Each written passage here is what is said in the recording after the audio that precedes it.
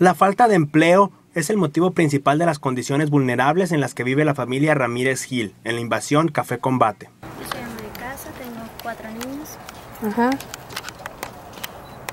y nada más. ¿A qué me vive usted sola con, Con los niños? marido. ¿Con su marido? ¿A qué se dedica su esposo? Es ayudante de. ¿Por qué se viene para acá? Eh, porque como estábamos viviendo con mi mamá, teníamos un cuarto ahí en su sala y nos prestaron aquí. Y Ah, estamos ok. aquí mientras Mientras... podemos conseguir otra parte.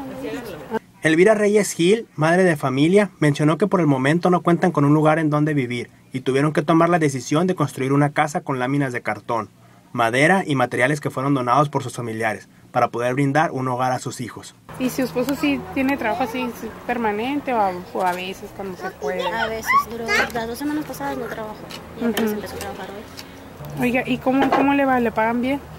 O más o menos. Más o menos. Más o menos. ¿A la semana cuánto ganará? mm, mil pesos. Mil a pesos. la semana. ¿En qué se le va más dinero? ¿En los niños? En los niños, lo que le piden en la escuela, Ajá. pues, ya lo que compro en mandado y eso. Ujú. Sus hijos entre 3 y 9 años se encuentran saludables, pero requieren de ropa y zapatos. El ingreso familiar no es suficiente para comprar estos artículos que llegan a convertirse en un lujo. Durante el verano, las altas temperaturas provocaron deshidratación en dos de los menores, y con la llegada del invierno esperan que los niños no sufran de enfermedades respiratorias por el alto costo de los medicamentos. Elvira añadió que son las risas y cariños de sus cuatro hijos los que la impulsan a ella y a su esposo a continuar cada día a esforzarse para salir adelante y poder brindarles un futuro mejor.